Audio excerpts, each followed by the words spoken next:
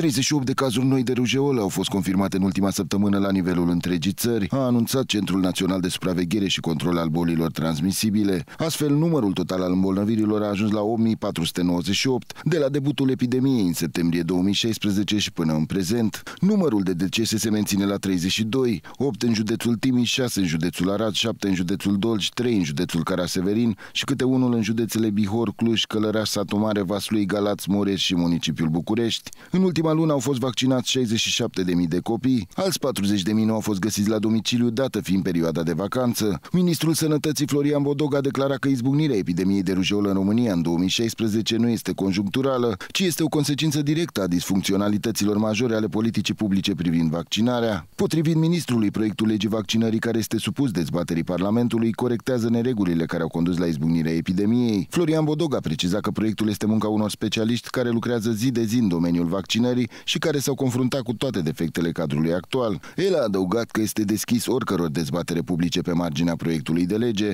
atâta timp cât ele se poartă cu onestitate, bun simț și decență. Legea vaccinării ar urma să intre în vigoare la 1 ianuarie 2018.